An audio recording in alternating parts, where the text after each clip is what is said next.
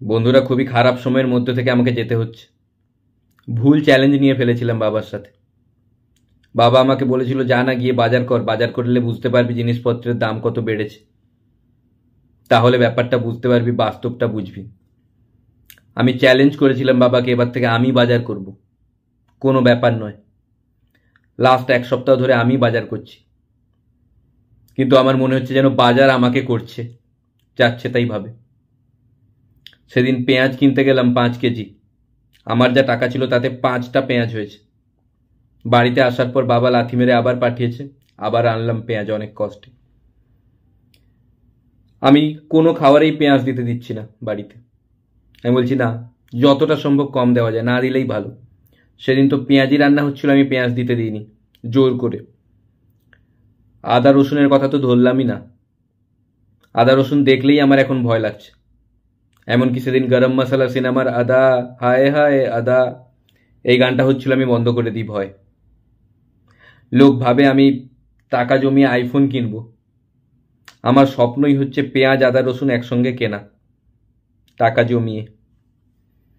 আমি কি দুনিয়াতে পেঁয়াজ, আদা, রসুন কিনতে এসেছি? তারপরে আমি যখন মশলা কিনতে যাচ্ছি, মশলার দাম শুনে আমার অবস্থা খারাপ হয়ে যাচ্ছে। নুনের দাম শুনে তো আমি লবণ আইন ভঙ্গ আন্দোলন শুরু করেছিলাম দোকানের সামনে। আমি এসে বাড়িতে বোঝালাম যে সব কিছু কি রান্না করেই খেতে হবে? আদিম মানুষ তো কাঁচা খেত, আমরা কি কাঁচা খেতে পারি না? কথাটা শুনে বাবা আমাকে আর একটু হলে কাঁচা খেয়ে নিত। চক্রান্ত ধরে ফেলেছে, মানতেই চাইছে না কিছু। সর্ষে তেল কিনে এনেছি। দু লিটার সর্ষে তেলে দু বছর চালানোর একটা পরিকল্পনা আমি করেছি। সর্ষে তেলের অপকারিতা সম্বন্ধে বাড়িতে প্রত্যেক দিনই কিছু স্পিচ রাখছি। বা আমার শুনতে চাইছেন, আমি বোঝাচ্ছি যে তেল না দেওয়াই ভালো। দরকারি জিনিসপত্র পুড়েই খাব। আদিম মানুষ কি মানুষ ছিল না?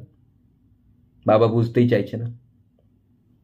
বাড়িতে একটা সচেতনতামূলক সেমিনারও করছি যে ইন্টারমিডিয়েন্ট ফাস্টিং না খেয়ে থাকলে শরীর ভালো থাকে। বাড়িতে বোঝাচ্ছি না খেয়ে থাকার জন্য। বাবা বুঝতেই চাইছে না, খাওয়া বাড়িয়ে দিয়েছে। দা আমি ব্রেকফাস্ট লাঞ্চ করছি না, কিন্তু রাত্রে পাঁচজনের খাবার একা খেয়ে নিচ্ছে। খাওয়া বেড়ে যাচ্ছে। বেশি খরচা হচ্ছে। কি করব বুঝে উঠতে পারছি না। আগে বাবা বাজার করতো, বুঝতে দিত না। এসে শুধু পনেরো মিনিটের একটা স্পিচ দিত অর্থনীতি নিয়ে যে কীভাবে জিনিসপত্রের দাম বেড়ে যাচ্ছে। অনেক ভালো ছিল। এখন তো আমার এক ঘণ্টা স্পিচ হচ্ছে। জানি না কি করব।